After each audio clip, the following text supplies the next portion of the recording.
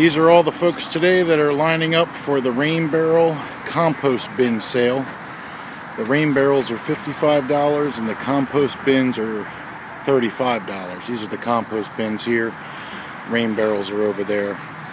Uh, our county here in Baltimore is putting this on today. There's a bunch of people out here today taking a, um, advantage of this sale.